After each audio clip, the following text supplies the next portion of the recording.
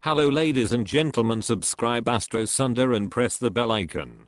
Today we are going to see Punarvasu Nakshatra, characteristics of male and female.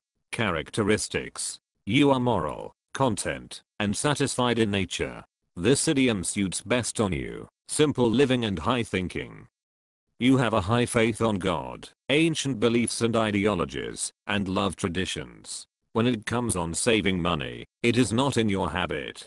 But, you will get a lot of respect and honor in life. Your innocence and transparency makes you popular amongst people. You always stand for those who are needy. When it comes on illegal or immoral works, you stand against them strictly. You stay away from negative thoughts and people, because it affects your spiritual growth. Your brain and mind always stay balanced. It is your special quality, to give comfort and support to others. Your soft nature, merciful and benevolent intentions add charm to your personality. You are peaceful, sincere, serious, believer, truthful justice lover, and disciplined. Your tact of dealing with people and unbreakable friendship is quite famous. You always avoid taking useless risks, and if a problem comes to you, it goes away by the grace of God.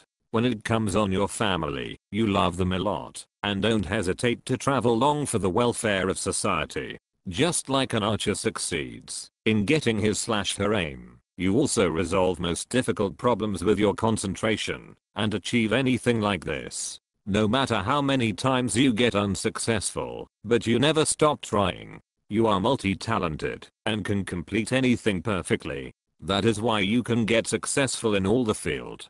Be it the field of teaching or acting, writing or medicine, you excel everywhere. You respect your parents and elders a lot. When it comes on your nature, you will be peace loving and logical along with an honest personality. Your children will also behave nice with everyone.